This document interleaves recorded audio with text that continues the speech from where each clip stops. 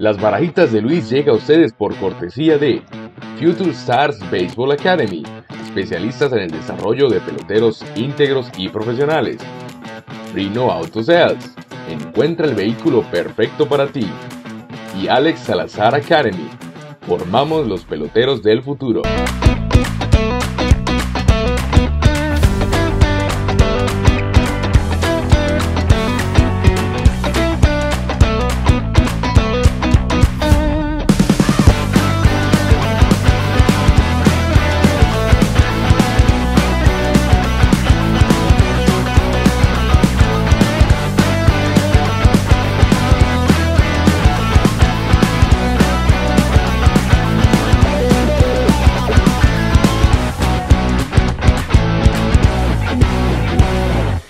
Amigos, bienvenidos de nuevo a otra entrega de Las Barajitas de Luis, donde conocemos a nuestras estrellas a través de mis barajitas. Hoy con un invitado de lujo de nuevo, Marco Escútaro. Bienvenido Marco. Gracias Luis, agradecido de estar aquí en tu programa y me lo he estado pidiendo por, por varios meses y de verdad que... Por fin se dio. Sí, eh, ¿cómo les explico? La, la fa- ¿cómo se dice? El, el amor que, que- que este señor le tiene a, a su hobby, a las barajitas, es algo admirable y, y cómo no de, de ayudarlo. Pues. Muchas gracias de nuevo y bueno, vamos a comenzar. Marco, firma profesional 26 de julio del 94. Indio de Cleveland, Caribe de Oriente en aquel entonces. Sí, señor. Cuéntame cómo llegaste al- a firmar, cómo fue tu proceso de firma. Fue como todo lo que imagino que, que buscan ese sueño, fue bastante difícil. En mi caso me atreveré a decir que fue un poco más difícil De lo regular. de lo regular, ya que ay, yo no era un jugador con, con unas condiciones excelentes, me costó mucho. Fui a Trayaste mucho. infinidad de tryouts y nunca me decían nada, ni siquiera me, me miraban, nada. Yo seguí, seguí y, y por fin llegó ese día, pero no, pasé mucho, mucho, mucho esfuerzo, muchos trayouts, muchas decepciones, no me decían nada. Y pues, para, re- para resumir un poco el, el cuento, porque de verdad que es bastante largo y son muchos años de, de Sí. tryout y todo ese tipo de cosas. Yo salgo de, de quinto año. Bueno, para, darle más o menos otra idea, yo soy de San Felipe Yaracuy, pero cuando yo llego a la, la categoría junior, yo me traslado a jugar a, a Barquisimeto porque ya en Yaracuy Claro. no había, como quien dice, A exponerte un poco más, pues. Sí, y, no- y, y lo que era la categoría junior juvenil no había mucho, mucho nivel, entonces Claro. para yo no quedarme estancado y me fui a Barquisimeto. Entonces, que como, podría, como podrás entender, ya para jugar junior y juvenil para mí era un esfuerzo Claro. duro porque, ¿sabes? Mi mamá me tenía que ir al terminal, yo agarraba un carrito, iba Sí. Barquisimeto. Y bueno, desde, de- ya desde esa categoría em- empezó todo el esfuerzo. Eh, Cuando funcionaba la, la academia en San Felipe, fue mucho después de que tú firmaste entonces. Claro, ya, ya la academia estaba muy avanzada, ya habían salido muchos peloteros ahí, ya eso era...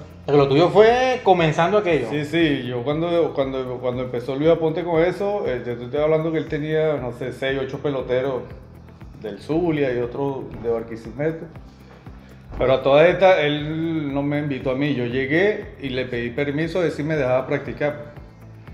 Le comenté que no, que no me tenían que pagar hospedaje ni, ni comida, que yo lo que quería era practicar para estar en condiciones.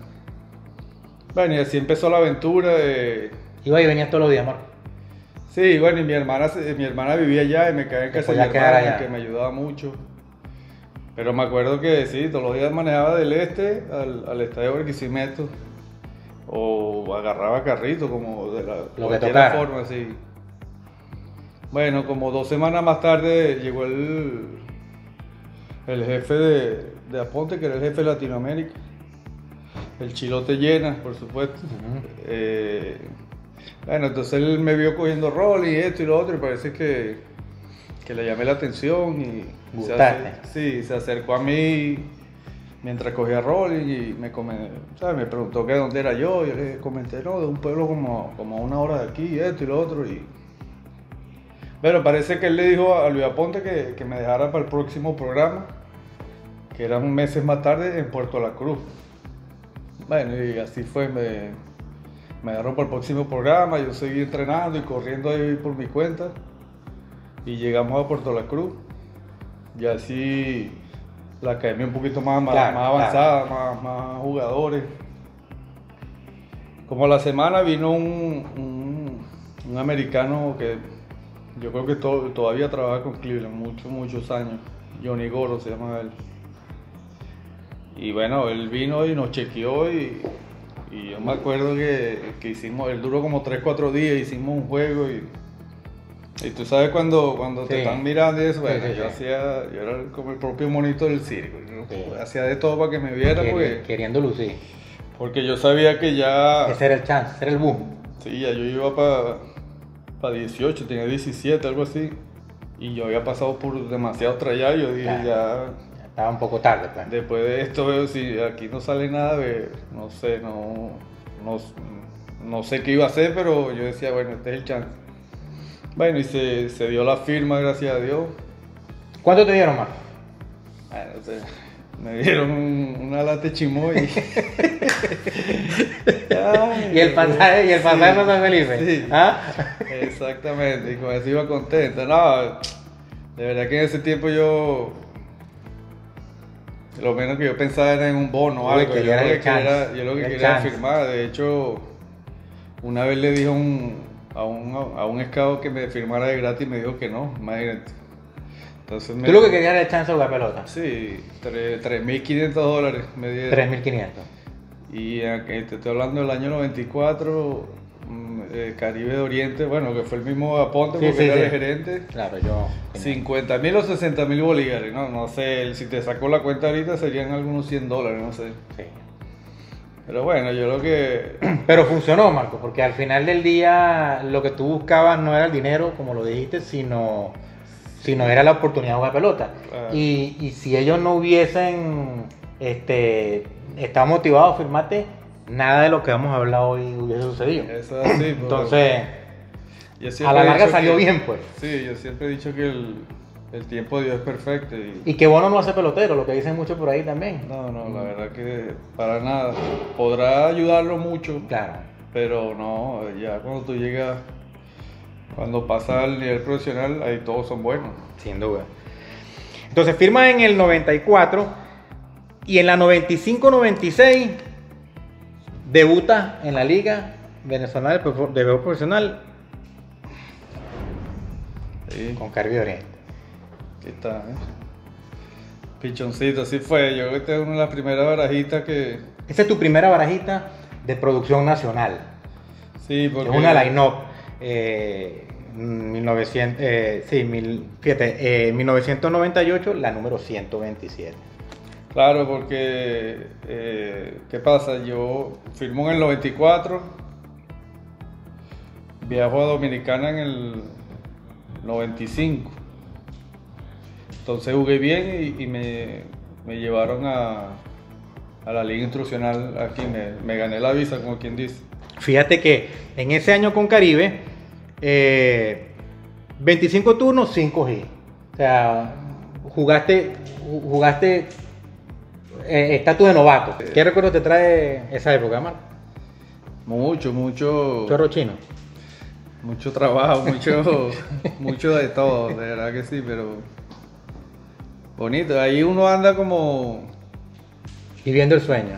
sí, nada más soñando, viviendo y, y- y aprendiendo. Uno anda como, no sé cómo explicarte, como un, como un potrico eh, Claro, viendo claro. todo, tratando de aprender a absorber lo que más, lo que más uno podía pues, en ese tiempo. Y, Ya en 1996 te ganaste la visa, como tuvimos lo dijiste. Y es tu primer año, perdón, es tu primer año en Estados Unidos. Esa es tu primera barajita de liga menor aquí en los Estados Unidos. Esa es la 1997 Best número 23 con los Columbus Red Sticks. y ese- esa fue la clase A media. Sí, por supuesto que me acuerdo, eso es como si fuera ayer. Estábamos jugando en Columbo, Georgia, mi primer año, imagínate, de San Felipe ¿Dónde fuiste a hacia, hacia, hacia Columbo, Columbo, Georgia. Yo no sabía nada de, de nada. Yo lo que sabía era jugar. Y, y era lo más fácil, porque lo, lo de fuera del estadio. ¿Cómo fue esa llegada aquí? Ay, imagínate. Como te digo, uno, uno andaba impresionado con todo. Uno viene de, de- de su cultura, de su pueblo, y cuando llega aquí, jugar béisbol era lo más fácil, lo más difícil. Era Estaba fuera del terreno. Sí, que, que realmente es lo más fácil. Pues, Claro. La cosa sencilla de pedir comida. Se, invir- se invirtió el asunto. Sí, de, de, de comunicarse. Hasta cuando lo- los coaches trataban de enseñarte algo y tú no entendías, tú lo que decías era sí, sí. El idioma una barrera sí, fundamental. eh, bien difícil. En ese tiempo, por supuesto, no, no había la tecnología que hay ahorita. De- Si alguien me dice algo, yo no podía buscarlo en Claro. Google Translate y, me, Claro. y entendía. Era, era, era un proceso más. Era que es pura difícil. seña, que sí, que no. Sí, el que hablaba inglés era este. Pero nada, todo lindo, todo bello. Te paso la siguiente carta. Fíjate que vamos intercalando en esa, en esa época Venezuela con Estados Unidos. Debutamos con Caribe allá, luego tu primer año en Estados Unidos y ahora te presento la 2002 Line No número 82. Eh, en la, 80 en la 98-99 eres cambiado al Pastor Aloyano. Sí, exactamente, me acuerdo. Fui yo y Horacio Estrada por, por Machado, un catcher. Me acuerdo, Robert Machado, creo que le Robert Machado. Sí, bueno, eh, ahí poco a poco se me empezaron a abrir las puertas. Llegué a, a Pastora, por supuesto, ese primer año no jugaba mucho. Pero, pero al año siguiente me dieron la oportunidad y, uno siempre tiene que estar agradecido pues, con, con la organización de Pastora, con Luis Dorante, que era el manager en ese tiempo. Te dio la confianza. Me dio la confianza y, y eso era un sueño, eso era un sueño así como de, de jugar Grandes Ligas. El sueño de uno en Venezuela era ser titular de, de su equipo. pues. Y bueno, ahí me dieron, me dieron el chance. Y en Pastora, en Pastora te fue muy bien. Sí, fueron unos años demasiado lindos. De, y De yo hecho, que- también que es lo que te abre, más adelante lo vemos, el, el paso hacia los leones. Claro, por supuesto, pero mire, ese equipo de, de Pastor era una familia, de verdad que un año que, que yo juraba que íbamos a ser campeones. Tuvimos a, a dos, dos, tres sábados de, de llegar a una final y, y era un equipo bien unido, bien unos años bien bonitos que vivimos ahí. Te trae buenos recuerdos carta. Sí, sí, y lamentablemente no, no se dio, pero me acuerdo que cuando perdimos ese juego contra Azul y después Magallanes para allá a la final, bueno, todos, lloramos como, como unos niños, Como unos muchachitos. porque le teníamos mucho amor a esa camiseta. ¿Tú sabes cuál es tu rookie card en Grande Liga, Marco? Si la ves, la reconoce. Yo sí. Sí, bueno, como te dije, eh, yo nunca fue un pelotero así súper prospecto, más bien en esos años yo moría porque, porque me hicieran una barajita y más que todo que te daban algo para comer un poquito mejor. Come eh. alguito. Y mira que te hicieron una. Esa es tu rookie card. Esa es la que los coleccionistas consideramos tu rookie card. Es, tu primera carta eh, de gran circulación, de una marca de gran circulación. Este, es una Top Fusion Gold Label eh, 2001.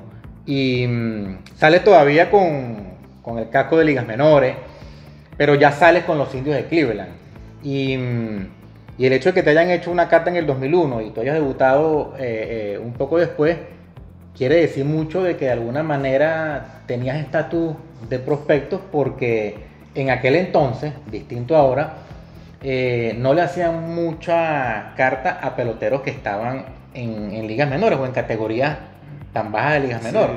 Este, eso seguro fue, lo más probable es que haya sido en, en- en sprint training y emitieron la carta, como te digo, en el año 2001. De hecho, esa es tu única carta de, de gran circulación con el uniforme de los indios de Cleveland. Sí, de hecho. Y es creo tronco que- de carta. Creo que ese eh, 2000, 2001 fue mi último año con, con Cleveland. Después me cambiaron a Milwaukee, pero sí, me acuerdo, me acuerdo clarito. Veo el guante, veo los zapatos y yo sé que fue un, unos entrenamientos de, de Cleveland. En ¿Algún sprint training tal vez? Sí, de- en liga menores, en esos Liga años menor. De nada más de que te invitaran a los entrenamientos o jugar triple A con, con esa organización, esos años era bien difícil Sí. porque tenía un, El nivel era, un era- trabuco, un importante. trabuco bueno. Fíjate que tú mencionas el cambio. Y, y haciendo la investigación, bueno, tú y yo lo habíamos conversado, lo habíamos conversado con anterioridad, pero me, me doy cuenta de que tú fuiste el jugador nombrado más tarde, como dicen los, america- los americanos, el player to be named later, Sí. en el cambio de, de Cleveland con, con Milwaukee. Exactamente. El cambio se da en julio del 2000 y, y a la final lo, lo finalizan el 30 de agosto de ese mismo año, dándote a ti como el jugador a ser nombrado. Ellos finalizan el cambio y, y estaban esperando determinar el jugador y tú fuiste ese jugador, ¿correcto? Sí, de hecho yo faltaban como dos o tres juegos para acabarse la temporada. Yo estaba en, en, en Buffalo, Nueva York. Y ya ese equipo no lo íbamos a clasificar ni nada. Yo prácticamente ya estaba arreglando todo para regresar a Venezuela. Y cuando me da esa noticia yo me tuve que, que movilizar de, de Nueva York a Indianápolis. Y a la vez tuve una Indianapolis suerte porque era, el- era la sucursal de, de Milwaukee. de Milwaukee en AAA.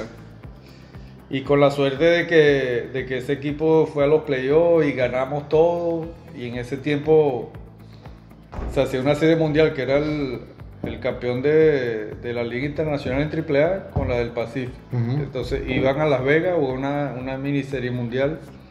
Y me tocó con, con la suerte, pues tuve suerte en Bueno, esa suerte la tuviste más adelante después en otro cambio. Sí, sí. Y, esa, y, ese, y ese, ese cambio eh, quedó reseñado en una carta. A mí me encanta esta carta, este, porque al igual que la Rookie Card, es tu única carta con uniforme de los cerveceros. Y a pesar de que estabas en ligas menores, eh, eh, es tu primera firma de paquete.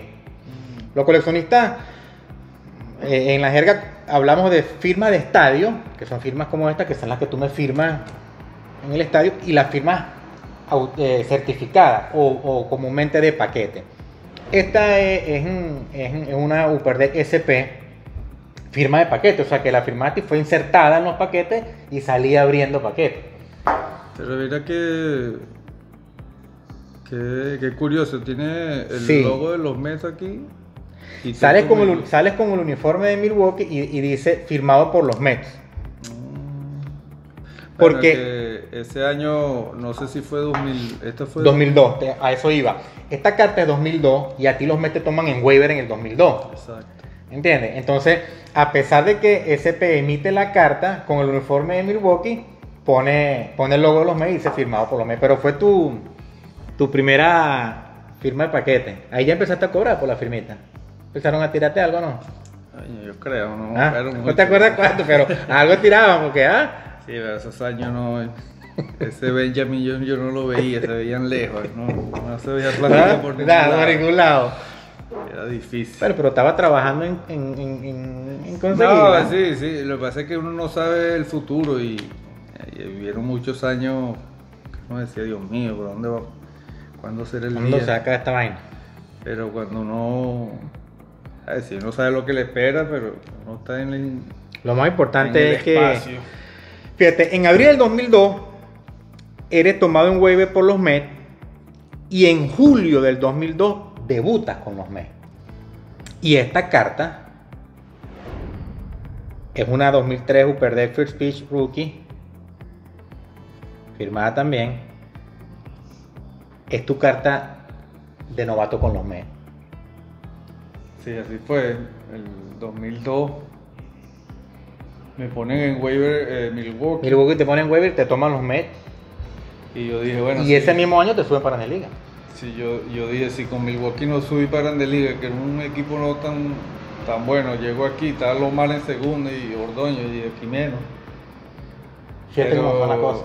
Nada, en AAA eh, me acuerdo que había un grupo de venezolanos que la pasamos buenísimo y, Estaba Belandia, Felipe Lira, Manacho, el Tapón Hernández. Y nada, y empecé a jugar ahí, a fajarme y me empezó a ir súper bien. Y vi Tú bateaste ese año en, Sí. en AAA. y vi que me empezaron a poner en diferentes posiciones. Y por supuesto ese año Belandia, yo le agradezco mucho porque él me, me enseñó mucho jugación y, y de hecho Sí. todavía cuando hablo con él siempre le doy las gracias. Te lo mencionas. Claro. No te olvida. Sí, Belandia en el sur era un tipo demasiado inteligente y, y él tuvo la Con, paciencia con mucho de- instinto para jugar, Sí. para jugar esa posición. Ay, porque yo cuando subí, eh, yo todos esos años en Liga Menor con Cleveland, prácticamente jugaba segunda y tercera, nunca No me- me, me ponía a jugación y eso yo pienso que me afectó. pues, eh, jugación Hasta es esa fecha, importante. hasta esa fecha, paisano, siete años en ligas menores. Sí, siete años y algo. Sí, hasta el llamado. ¿Te acuerdas del llamado? ¿Te acuerdas cómo fue esa vaina? ¿Te acuerdas? ¿Te acuerdas? Normalmente ustedes los peloteros recuerdan la fecha, la hora, qué sí, cargaban no, puesto, todo. Eso, eso no se te olvida, ¿no? después de siete años y pico, oyendo lucha y uno esperando ese día, no, me acuerdo un domingo, entrando al apartamento con mi esposa, suena el teléfono, el tipo no era celular ni nada, suena El teléfono. CanTV. Sí, o en este caso el de aquí, no sé, el CanTV gringo. Y cuando suena el teléfono, ella lo agarra porque siempre llamaban, la llamaban de, de su casa de, de allá de Venezuela. Entonces entrando, cuando ella agarra el teléfono, yo le veo la cara, como impresionada. ¿Qué Pasó. Me dice, es el manager. Entonces, y cuando... ¿Quién era el manager de, de, de? ¿Te acuerdas? Si la cara me completica, pero el nombre, yo creo que era Bobby algo, pero no, no me acuerdo. ¿Qué te dijo? Bueno, yo, digo, cuando voy caminando para el teléfono digo, aquí hay dos, dos buenas, o, o sea, dos noticias, una mala una buena, o me votaron o... ¿O me subieron? Pero la- yo no pensé tanto en eso porque Estaba yo yendo estaba bien. jugando bien. Estaba pero, yendo bien. Pero uno no sabe. Ay, cuando el hombre dice la palabra mágica, no, ese corazón, taca, taca, y María me está viendo y ya se dio cuenta. Llegó el Empezó día. la gritadera y la lloradera, no, sabroso. Eso es fruto del, del- de tu esfuerzo, Marco. Subir para Grandes Ligas. Al año siguiente, lo mismo me te ponen en waiver otra vez. Y te toman, te toman los Atléticos de Oakland. Y esta, esta, esta carta recoge, tu, llamemos tu primero full season, que fue la 2004. 137 juegos, 477 turnos, coño, 124 y 270 de, de averaje. Esta es Perdec 2004, la número 412. Sí, bueno, este año yo prácticamente iba, iba otra vez para AAA. Cuando yo llego a Sprint Trainer, yo tenía su equipo hecho y sabes cuando te dan ese número altísimo, tú dices no. Pero como te dije, yo creo que el tiempo de Dios es perfecto. El hombre como que miró para abajo y dijo, este muchacho Y aún así, y a- que- y aún, aún así, Marco, tú le regalaste buenos años a Oakland y a pesar de eso, pasaste trabajo en Oakland. O sea, te tocó, te tocó ganarte lo tuyo ahí. Sí, sí, no, bueno. Además que eso está en el tocará por allá. Después de, de eso que tú dijiste de ese año, el full season, mi sorpresa del año siguiente era que me iban a mandar para AAA. Y, y, y ba- bateando 273.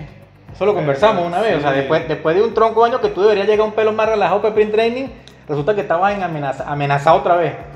El primer día del primer día de entrenamiento son, son un mes y medio. Me comentan que lo más seguro no, no haga ese equipo, que me van a mandar para AAA por X razones, que no voy a base por bola, que esto, que lo otro.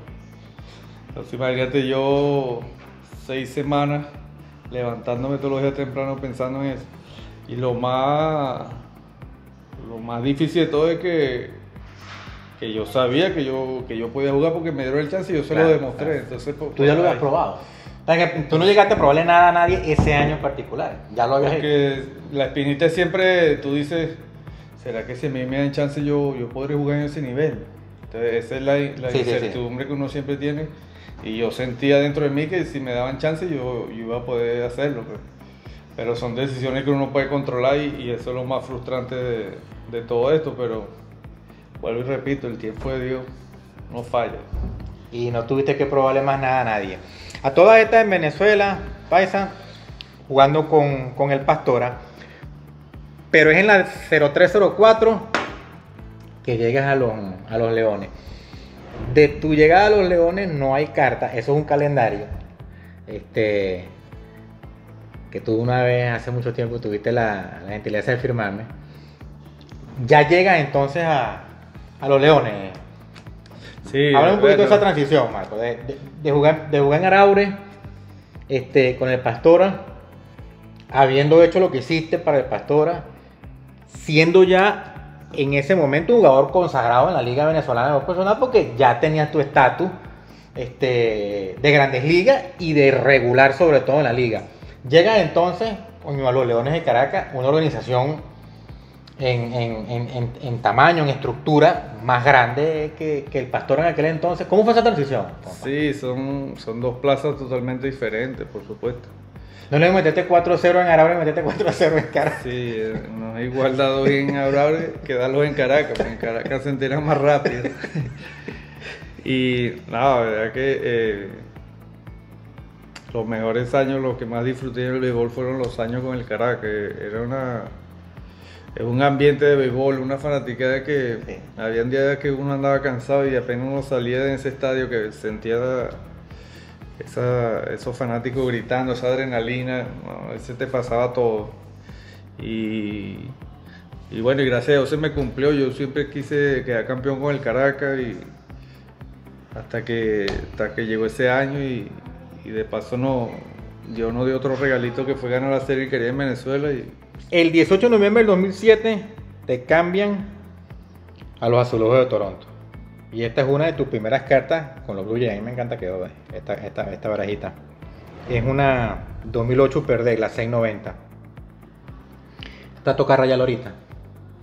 Sí, sí, no, esta este es otra organización que, que me encantó jugar y, y también tengo que agradecerle que, que ellos fue que, los que me dieron la oportunidad de jugar.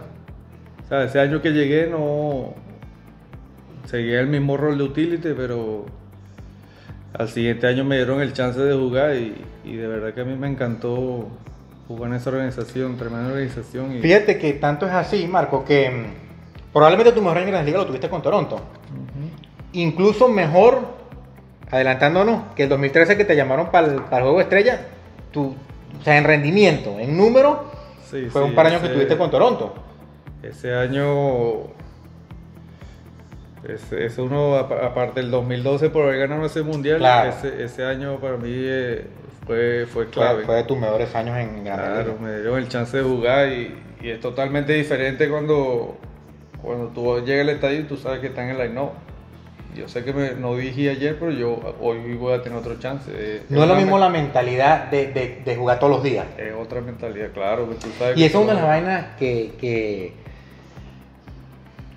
que, que más se admira como, como fanático mm, conocedor de, de la pelota, o tú sabes, porque el rol de utility es un rol complicado. Sí, es difícil. Porque no solo te preparas pa- para jugar todos los días, juegues o no, sino que tampoco sabes en qué posición vas a jugar. Entonces el mindset cambia de acuerdo a la posición, al, al- turno en el line que tú tengas. Entonces tiene que estar mucho más. No es lo mismo que tú dices que tú yo voy a jugar, yo soy el sobre todo el equipo y juego todos los Ah, días. sí, es totalmente otra No historia. llegas a, no llegas maquinando nada, pues. Como utility yo, sinceramente, yo no tenía chance. Yo, cuando, si jugaba jugando una vez a la semana, dos, el que pueda hacer ese trabajo yo lo admiro porque yo, yo de verdad no tenía chance. Con el bate, ah, jugando defensa yo iba a resolver, pero bateando era muy difícil. Entonces cuando te daban un juego tú querías dar tres y en un turno, porque sabías que mañana iba a jugar. Entonces... Hablando pero, de. habla- pero ah, son cositas que la gente tiene que entender que uno no puede controlar eso. Claro. Lo único que uno puede controlar es jugar y No, callarse la boca. y, y, sa- y salir a hacer lo que tú puedas, lo que tú sabes hacer. Claro. Nada. Ahora en el 2009, primer clásico mundial. Eh, yo siempre les comento y he conversado con muchos de ustedes. Siempre han tenido la oportunidad en categorías menores, juveniles, tú sabes, de representar a Venezuela, sea en distintas competiciones este, internacionales. Pero ¿qué significó para Marco Escútaro ponerse esta camisa? Bueno, ese es totalmente diferente a todo. Ese fue el clásico del 2009. Es una barajita muy particular, porque es tu única barajita del año 2009. Es una Konami. Voltea y lé- lé- léela. Leila. Es una barajita japonesa y está, y está, en, está en japonés. Es la única barajita del Pero yo pensé que estaba en español, por la vista que está. Ah, no, no, yo te estoy jodiendo. Yo pensé que la No, yo pensé, por la vista como la tengo jodida, yo pensé que Pero, era que está- No, no. esta era hasta en chino. Este, viejo no, no sirve. este, y es, es, la, es, es la única barajita del clásico del 2009, porque después vamos a ver la del, la del 2013, que recoge... No, el, el, no sé, eh, no sé cómo explicártelo. Ponete, ponete una camisa que lleve el nombre de Venezuela es totalmente, es otro feeling, es algo, Además que ese no sí, uno, tenía... uno es un sentimiento, es algo que la gente piensa que, que uno no le tiene amor a la camiseta porque X. eh, Tienen que entender que uno nunca quiere hacer mal. eh, eh, Sí, el pelotero no sale a cometer errores, ¿me entiendes? no, Nadie. Sí. Todo, todo era un En equipo. ese clásico pudiste compartir como Marvis que él. Claro, mi, mi ídolo, el que siempre yo miraba, pues y lo quería. ¿Cómo fue estar tú ahí al lado de haciendo llave con el hombre? Eso fue un sueño. Sueño cumplido. Si, si regresamos cuando yo estaba en ligas menores con Cleveland, yo cuando salía temprano lo primero que hacía era irme al estadio grande para verlo, verlo jugar. Pues, sí. Y después que estaba con él, no, imagínate, una facilidad que tiene manos de seda, algo increíble. Por ahí hay una foto de del pulpo escútaro, de Eire Escútaro, mira. Ah, Eso cuando había juventud. Si ven ese, es uno de los clásicos. Sí, sí, contra Australia, claro, me acuerdo que ahorita en Puerto Rico. Bueno, y de hecho, si ven, si ven este zapatico que está aquí atrás, ese es del hombre. Es el de mano de seda, Sí, así es. Ese de Vizquel. En ese juego estabas haciendo llave con él. Claro. Bueno, en todo el mundial no, pero particularmente haciendo referencia a la foto. De hecho, hay una foto que yo salgo, cuando el primera se no está dando rolling, yo salgo. sale al lado tuyo, Sí, bueno, sí. y esa que que la veo uno. Espectacular. Está rayadita también. Y aquí entonces, en Venezuela sale del Pastora para los Leones y en Grandes Ligas sale de Toronto para Boston. Porque el 6 de noviembre del 2009 te declaras agente libre y el 4 de diciembre de ese mismo año firmas con los Medias Rojas. Esta barajita recoge ese momento, es la 2010 Top Heritage número 376. De hecho, háblanos tú de ese momento, porque ahí te acaban de poner el jersey. Sí, sí, ese. eh, Empezamos a facturar también, ¿no? Sí, me acuerdo. Bueno, como te dije, gracias a la oportunidad que me dio que me dio Toronto, fue como el timing fue perfecto porque me dejaron jugar y iba a ser agente libre. pues, y- Y, y respondiste. exacto, entonces eh, Boston necesitaba un shortstop las negociaciones, los, los dolores de cabeza bueno, porque esos son tiempos que son Pero igual, te, malos, pero pero buenos igual, te quita el, te- igual te quita el sueñito, ¿no? Sí. Y bueno, eh, la razón que quise, quería jugar con ese equipo era porque teníamos un chance para ganar. Lamentablemente, los años que estuve ahí no. No se como, materializó. como equipo no, no, no lo hicimos.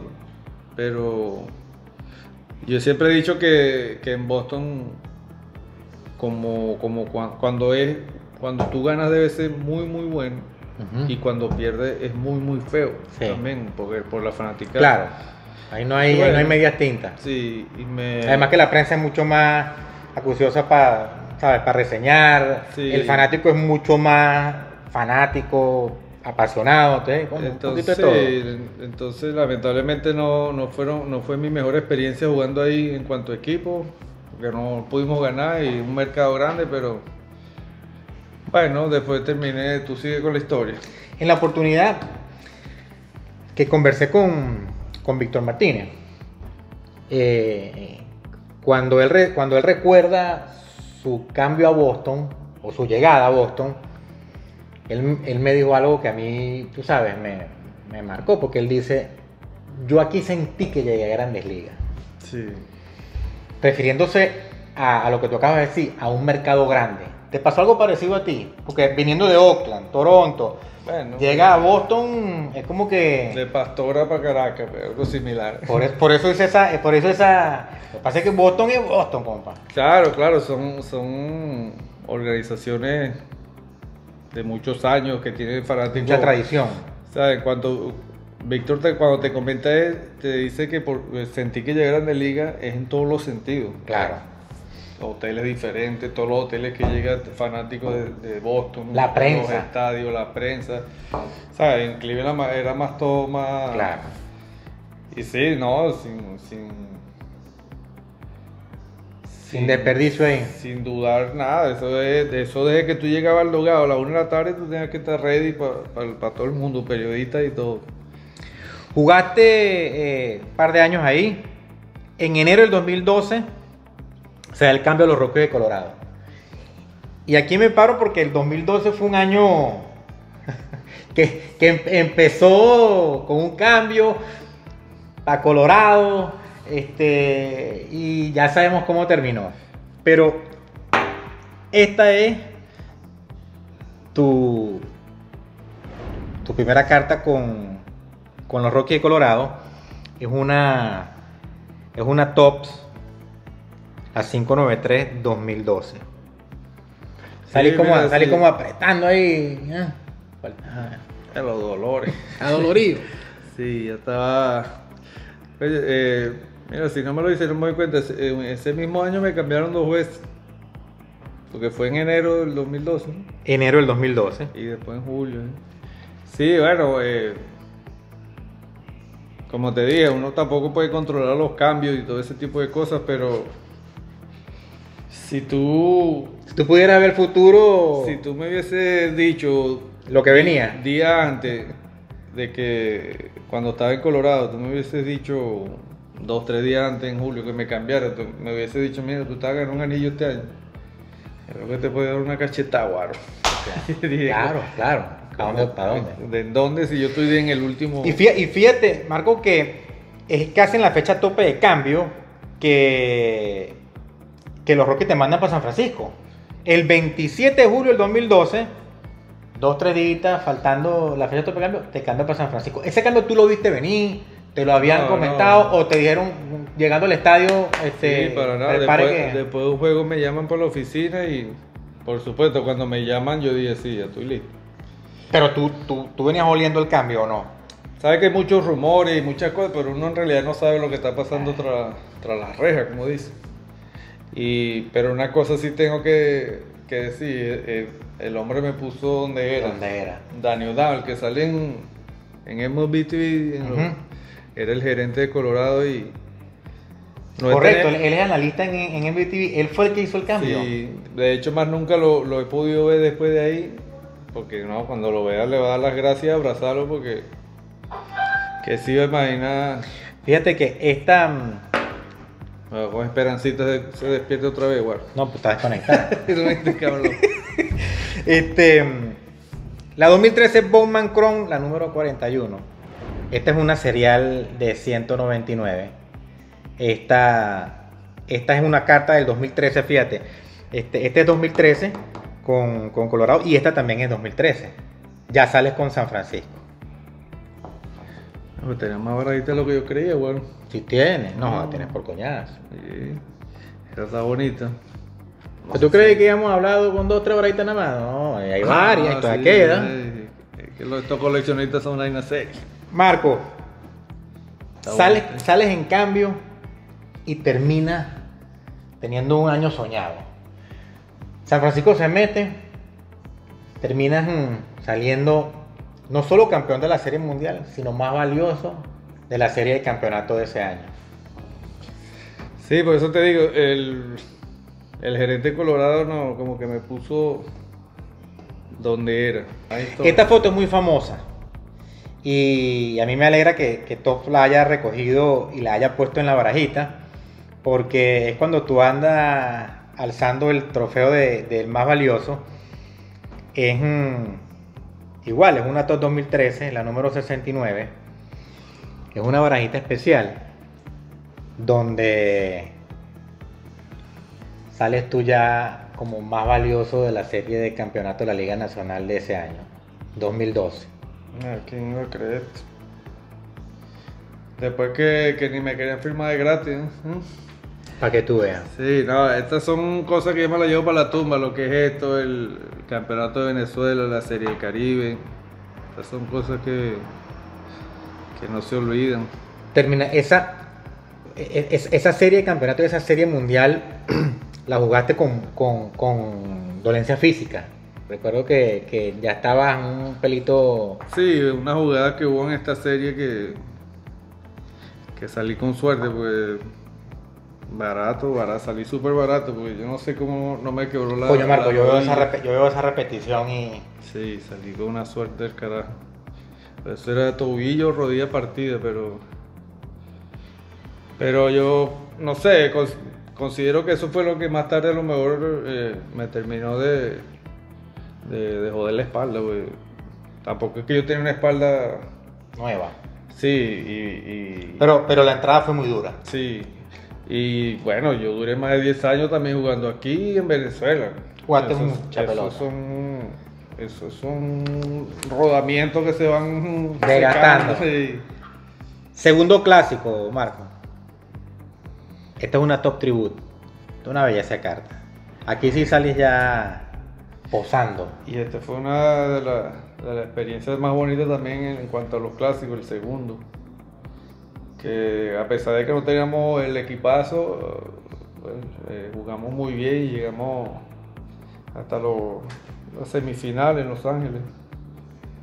No se pudo. Yo creo que esto fue lo que me faltó en mi carrera, ganar un clásico. Pero Porque bueno, con esa tenés los tres trofeos. Cuatro. Sí, pero bueno, no se pudo. Te paso la siguiente carta, Marco. Ah, este fue el jueguito estrella, el único.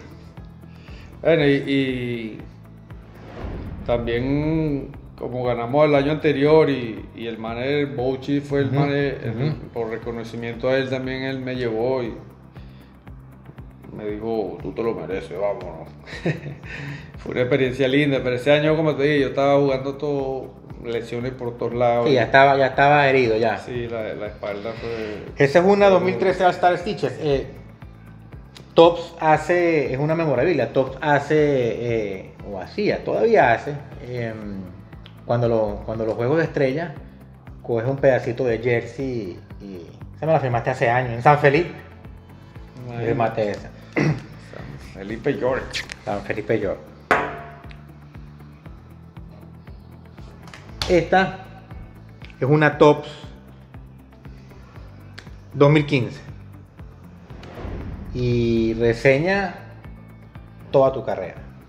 Sí, eh, La 394, prácticamente- esa, esa es vistiendo el uniforme de los gigantes de San Francisco, tu, tu, tu Sí, última mi carta de la Mi liga. último año prácticamente, claro. Me acuerdo, el guante, todo.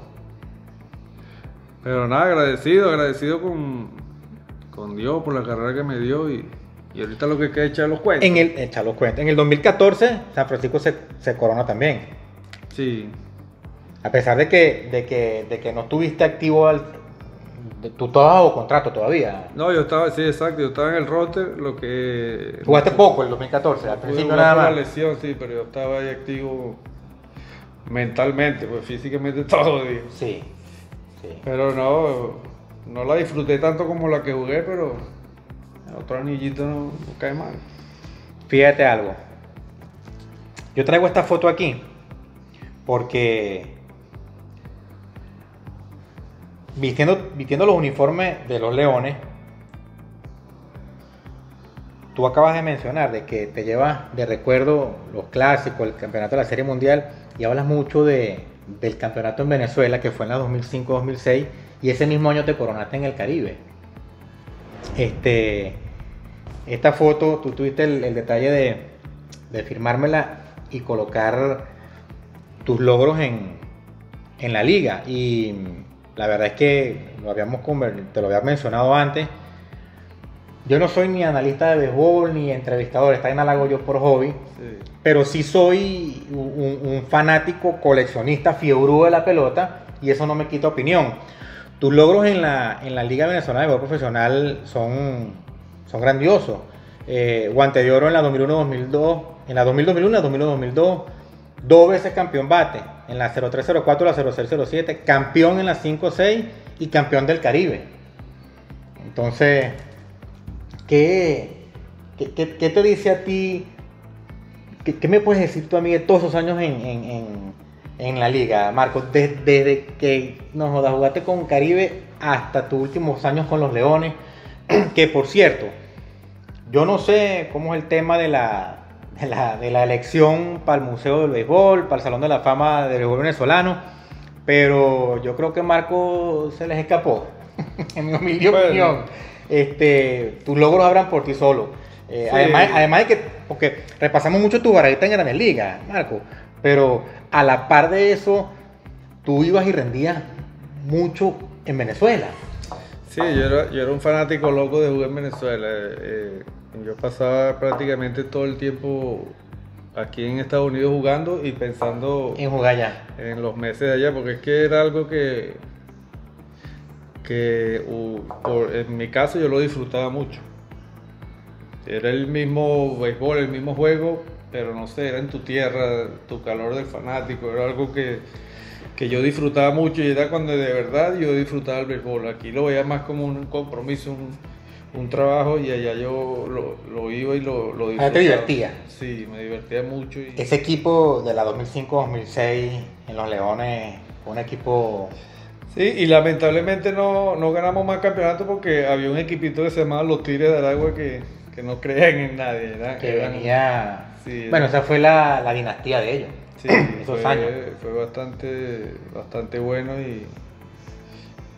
No, esos años fueron divinos, la verdad que jugar béisbol allá. eh, no- Tú sabes años que- que, no sé si una- en una oportunidad, Marco, estamos en un compartir hablando de pelota y estaba un fanático de los Leones del Caracas eh, y estaba hablando de, coño, de lo grande, de lo arrecho que era un Caracas Magallanes. Y yo, yo para relajarlo, para fastidiarlo, le digo, no, sí, un Yankee Boston. Y estaba Francisco Cervelli ahí sentado nosotros y me dijo, Mosca. ¿Y yo, Mosca qué, Francisco? Mosca, si un Caracas Magallanes no es más arrecho que un Yankee Boston. Y lo empezamos a conversar. Tú jugaste varios Caracas Magallanes. Sí, eh, eh, Arrecho. es otro otro tipo de, de bestia, como dice. De No, eh, yo lo que considero que un, Boston Yankee, por supuesto, todo es más grande. Sí, claro, ya van más- llevándolo a la escala, pero Pero a la hora de, de guapear es, es un Caracas más allá. Y en Caracas para mí eran más. Pero tú, tú jugaste los dos. Sí, Tú pero. jugaste Boston Yankee también. Pero no, yo te decía algo. Mucho importado que cuando iban a jugar con los Leones y cuando nos tocaba jugar con Magallanes, se- tú lo veías más blanco de lo normal. Había que calmarlo porque veían los fanáticos diciéndole toda esa vaina y, y No, y lo- lo- lo- lo- los fanáticos, nosotros allá como fanáticos no es lo mismo que los fanáticos aquí. Por muy fuerte que sean los fanáticos en Boston, en Nueva York, No, aquí tú sabes cómo es allá. aquí puede haber 100 mil fanáticos y los 10 mil de allá se los llevan por encima de esto. Son, son, son- hacen magullas, hacen de todo. y- Paisano, 16 años en Grandes Ligas, 1355 G, 509 Ribi, 77 para el pueblo, chate. Salió un- una lombriz de vez en Una cuando. lombricita de vez en cuando, 277 de averaje vitalicio. Eso recoge en las barajitas que pudimos, por las que pudimos pasar tu carrera eh, y lo que pudimos revisar, Marco, de verdad que eh, yo, yo te expreso de nuevo mi admiración porque fue una, fue una carrera muy bregada. Y yo también lo doy gracias a Dios. Tú, tú has mencionado varias veces durante la entrevista que el tiempo es perfecto y, ciertamente es así. Pero creo que más allá de eso, estoy seguro que más allá de eso, te, te premió el no haber abandonado. Yo quisiera hacer eh, en, esto, en estas entrevistas una, una fija que ustedes, los peloteros ya hechos, incluso los retirados como tú, le dejen unas palabras. ¿Qué, le dice Marco Escútaro a esos chamos? Después de haber jugado 16 años, después de esos números, este, a, lo- a los muchachos que están ahorita en ese proceso, persiguiendo ese sueño como tú hace 20 años, ¿qué, qué, qué- mensaje le dejas, paisano? Bien sencillo, eh, cuando, cuando uno se pone un sueño y va por él, con el trabajo, la, la constancia, la dedicación, eso más tarde va a pagar. Este, todo, todo lo que tú vayas a hacer en la vida lleva sacrificio, ¿no? todo no va a llegar fácil. Y mi consejo es, trabajen más duro que todo el mundo, hagan las cosas con amor. Que al final del día, si, si no se te da tu sueño, tú te puedes ir satisfecho porque No quedó de ti. Tú te miras al espejo y tú dices, yo hice lo mejor de mí. Sabes que es difícil cuando te vas a mirar al espejo y porque tú me- te puedo engañar a ti, lo puedo engañar a él, a aquel, pero adentro de ti tú no te vas a engañar. Ti mismo no te engañas. Cuando usted se ve al espejo, usted dice, yo puedo vivir tranquilo porque yo sé que yo me fallé. Todo lo que tú controlabas, lo hiciste. La mente va a estar tranquila y tú vas, si no se te cumplieron tus sueños, tú vas a irte tranquilo porque tú vas a poder vivir con eso. Difícil es cuando, cuando te miras al espejo y dices, coño, si hubiese trabajado más duro, si, Yo se llegado más temprano. si hubiese dejado el bochinche en la calle y toda esa vaina. Es, es mi, mi forma de pensar y, y pienso que, que así mentalmente tú Y tu carrera es reflejo de eso, ¿no? Nos van a ver en, en, en- ¿cómo se llama? En este deporte van a ver más, más años malos que buenos, Sí. o más días malos que buenos, pero este deporte se trata de eso, Claro. de, Bueno, de eres, fallar. eres, bu- eres bueno si le das a 3 de 10. Sí, eh, O sea búscate que va, otra va- cosa. va a, te- va a tener 7 días, va a tener siete días malos y todavía puede ser bueno. Sí, búscate en otra cosa, que tú vayas a hacer 10 cosas y fallas 7 veces y eres una estrella. En ninguna. En ninguna. Entonces, lo que hay que estar preparado para todo eso. Marco, loco, gracias, ¿viste? Coño, ya que me falta darte un regalito por Va, sí, ¿verdad? Sí, güey. Lo tengo por aquí guardadito. ¿Qué adorna la vitrina? claro, yo sé que tú eres un coleccionista de lujo. te agradezco, mano. No, yo sé que ustedes todas esas cosas las. San Francisco Giants, Marco Escútaro. Medio palo no, palo completo, mira. Dime, enséñale la fecha. Ya abajo Serie Mundial. El 29-8 del 2003. Ay, ese fue de juego, ese no es de. Gracias, está- Marco. Gracias siempre por, coño, por siempre recibirme, loco, por estar siempre dispuesto a conversar, por, por aportar siempre piezas a mi colección. Esperamos con el favor de Dios pronto empezar a traer barajitas del Junior. Coño, por favor de Dios. A ver. Este, y, Él es otro, el Junior es el hijo mío, él es otro fanático de las barajitas. y Padrino tiene, en barajita Padrino Sí, tiene. Por lo menos tiene buen entrenador.